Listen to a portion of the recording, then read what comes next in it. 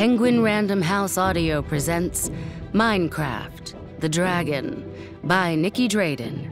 Read for you by Nicole Lewis.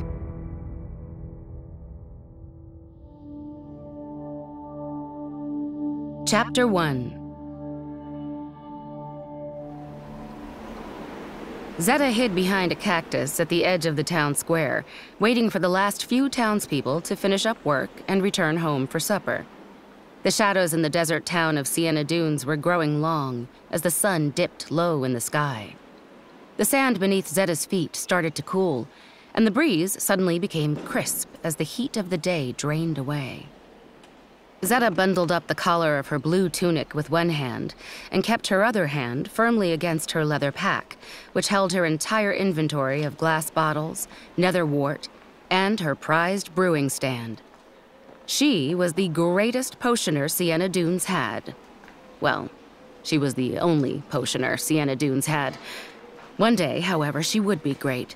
But first, she needed to practice. And to practice, she needed to fill these water bottles without getting caught. In the middle of the town square stood a sandstone tower with small windows cut all the way to the top and at the highest point hung a big brass bell to rally the townspeople in case of an emergency. In the bell tower's shadow sat the town's only well. Water was scarce and highly valued in the desert, and taking more than your fair share was frowned upon. If people saw Zetta filling her bottles up too often, they'd get suspicious and start poking around in her business. She couldn't let anyone find out she was experimenting with potions. Not yet especially not her father. Zetta watched carefully as all the shop owners in the square began to pack away their outdoor displays. The grocer put away her fruit stand, carefully storing away the melons and berries and exotic apples for the next day. The owner of the slime shop bundled up his slime balls and shoved his display of slime cubes into a chest. And on the north side of the square, right near the town hall, the bookshop vendor sighed as he flipped through the last few pages of a book, then placed it back onto a lonely bookcase. Apparently, he used to run a whole library until the people of Sienna Dunes lost their curiosity about the world and got stuck in their ways. Now the old library was a cactus nursery, like Sienna Dunes needed any more of those. Finally, the square was nearly clear. Zetta ran over to the well and stood next to it, trying not to seem suspicious and failing badly. Her hands were shaky, and her eyes were darting all over the place. Carefully, she slipped her hand into her pack, pulled out a glass bottle, and uncorked it. Just as she was leaning over to fill the bottle, Zetta heard footsteps clomping in the sand, getting closer. She straightened up and shoved the bottle back into her pack, then looked to see Mayor Maxine walking right toward her. Another beautiful evening in Sienna Dunes, Mayor Maxine announced to no one in particular. She stood tall and dignified, and she smelled of the kind of delicate flowers that would instantly wilt under the desert's harsh sun. Very beautiful, Zetta quickly agreed. I'm just sitting here enjoying the breeze. And definitely not trying to steal or borrow, um, Take a little water to make potions in a town that doesn't think too highly of potioners. And the wall is coming along nicely, if I do say so myself. I appreciate your work in the terracotta mines. It's people like you who keep this town safe. Mayor Maxine looked down at Zetta in the kind of way that said, Why, yes, I am the mayor. Thank you for noticing. Zetta became instantly aware of the orange terracotta dust that covered her brown skin. She felt the grit upon her eyelashes, in her coily black hair, in her socks. She inhaled so much of it during her mining shifts that she wouldn't be surprised if she one day sneezed out an entire terracotta brick. The wall is impressive, all right, Zetta said through clenched teeth. In truth, she thought the new wall being constructed around the town was an eyesore. But mining terracotta for the mayor's pet project had earned Zetta enough emeralds to afford a brewing stand, so she couldn't complain too much. Keep well, citizen, Mayor Maxine said, And then she was off, with a hasty walk that was more like a horse's trot. Zetta breathed a sigh of relief. She turned around and quickly filled her bottle. She didn't even understand what the big deal was. The well never seemed to run low. Once, she'd helped her grandpa fill 10 whole buckets, and the water level hadn't even gone down an inch. Zetta startled when she felt a touch on her shoulder, and she nearly fumbled the glass bottle into the well. She caught it at the last moment, then turned to see her father standing there, barrel chested and fierce, with a strange kind of charm. He was the kind of guy who crowds parted for. Dad, I. Zetta's tongue suddenly felt too large in her mouth. She needed an excuse, something quick, so he wouldn't ask too many questions about the water bottle. The town's blacksmith had her store set up right across from the well.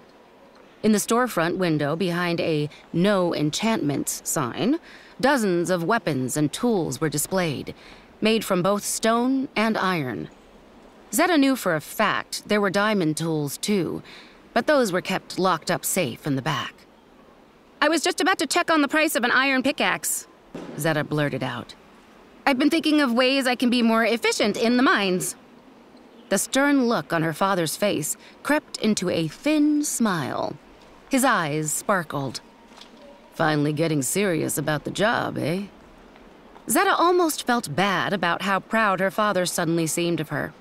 She was the daughter of the mining foreman, so everyone expected her to love mining and be as good at it as her father was. But mining was the last thing on Zetta's mind right now. It was pretty much always the last thing on her mind. Zetta cleared her throat. um, Gotta go before the shop closes. See you at supper. Then Zetta ducked inside the blacksmith's and pretended to browse the iron pickaxes she couldn't afford. She watched through the window as her father milled about the town square, always moving, but never in a hurry. No way would she be able to fill her bottles at the well with him out there. She could try her grandparents' farm.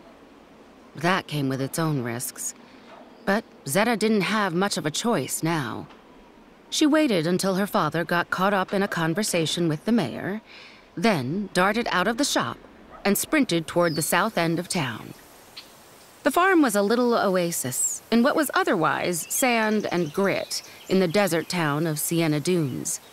Sugarcane stood stiff in the breeze, while the green tops of carrots swayed gently. Chickens clucked as they paced around their coop, eager for their next meal of seeds.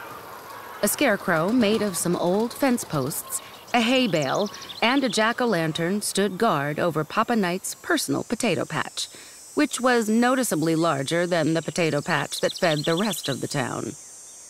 And not 20 feet away, Zetta's cousin, Ashton, swiped his stone hoe feverishly at the waist high wheat shafts that had somehow managed to grow in the desert heat. He had to be nearly done with his chores by now, Zetta thought. She was running out of daylight, and she needed water. Plus, now that she was here, maybe she could gather a few more ingredients for her potions. Zetta had faith in herself that she wouldn't mess up this time. Her eyebrows had nearly grown all the way back from the disastrous explosion she'd caused during her first attempt at brewing. And now, she was pretty decent at brewing awkward potions, though the only thing they were good for was stinking up her bedroom for an entire day. Finally, Ashton gathered up all the fallen wheat into his inventory, replanted the bare spots with seeds, then turned and headed off toward the chicken coop. Zetta breathed a sigh of relief, then kept crouched as she snuck toward the little wheat field that kept the desert town supplied with crusty bread loaves and sometimes cakes and cookies. The familiar sand beneath her feet turned to brown soil, mushy and cool, despite the beating it took from the sun. Zetta tiptoed through the wheat until she reached the minuscule stream that served as irrigation. As Zetta knelt down next to the water, guilt started to worry her. So she reminded herself that she wouldn't take much. Just enough to fill the three bottles she needed to practice her potion of swiftness. She hoped she'd have more luck with a simpler recipe. The potion of invisibility she'd made last night hadn't looked quite right, and she'd been. We hope you enjoyed this preview. To continue listening to this audiobook on Google Play Books, use the link in the video description.